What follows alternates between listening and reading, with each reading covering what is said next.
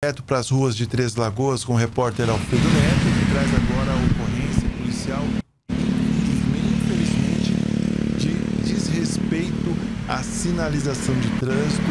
E olha só, veja só você, como um simples desrespeito vai gerando uma bola de neve que vai parar lá no sistema de saúde. Alfredo Neto, motociclista, meu amigo, fura o sinal vermelho. E o resultado a gente já sabe. Bom dia novamente. Conta pra gente, por favor. Olá, bom dia novamente, Israel. Bom dia, Antônio Luiz, novamente a todos.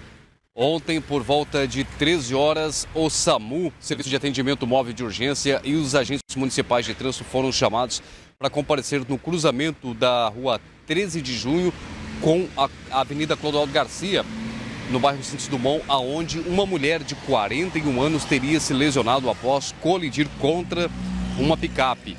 A mulher pilotava uma moto CG Bis de cor vermelha e esta moto que ela conduzia acabou colidindo na picape após a mulher acabar desrespeitando o sinal vermelho e batendo na picape que estava ali com a preferencial pela 13 de julho e ser colidida na traseira. A mulher bateu contra a traseira, foi arremessada no solo. Felizmente, ela teve só escoriações e foi levada para a UPA apenas para passar ali por, uma, por um exame médico.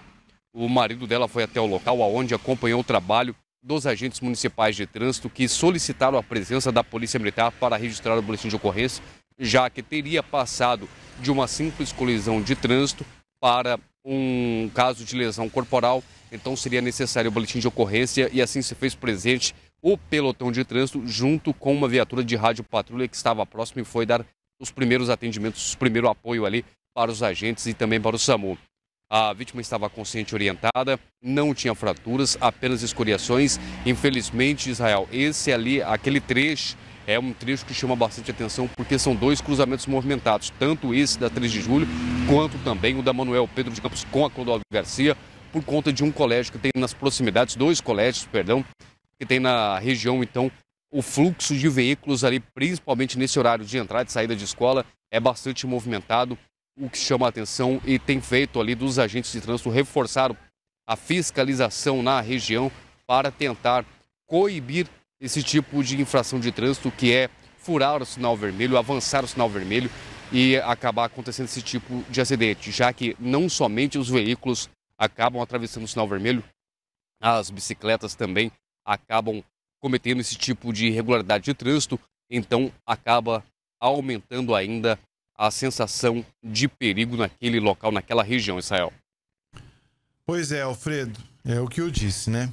A falta de respeito, a falta de conhecimento, né, da legislação e a falta primordial de uma pessoa que utiliza as vias públicas é a atenção.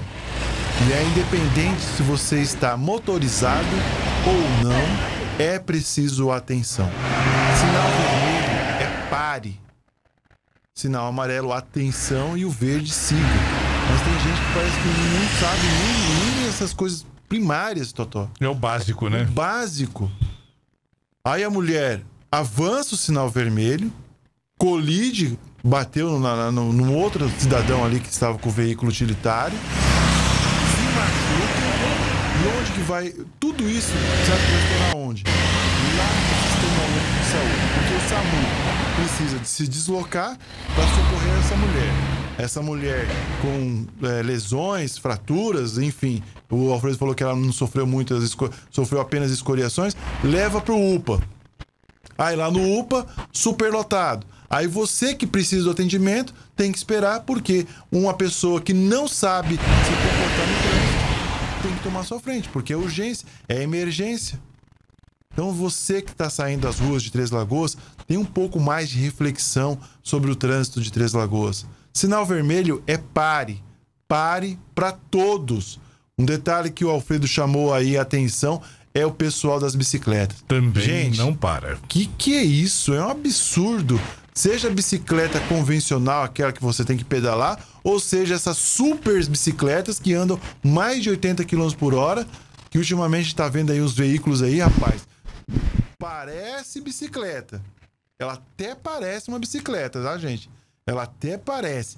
mas é uma, um canhão de velocidade. Uhum.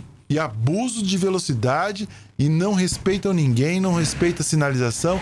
Não, e a, a sinalização que eu falo é a vertical e a horizontal. Porque quando tem faixa de pedestre, você que está de bicicleta também precisa parar e dar preferência para o pedestre. É impressionante a falta de respeito, a falta de conhecimento das pessoas que utilizam o trânsito aqui em Três Lagoas. Alfredo, daqui a pouco você volta aí para fechar as ocorrências policiais, porque agora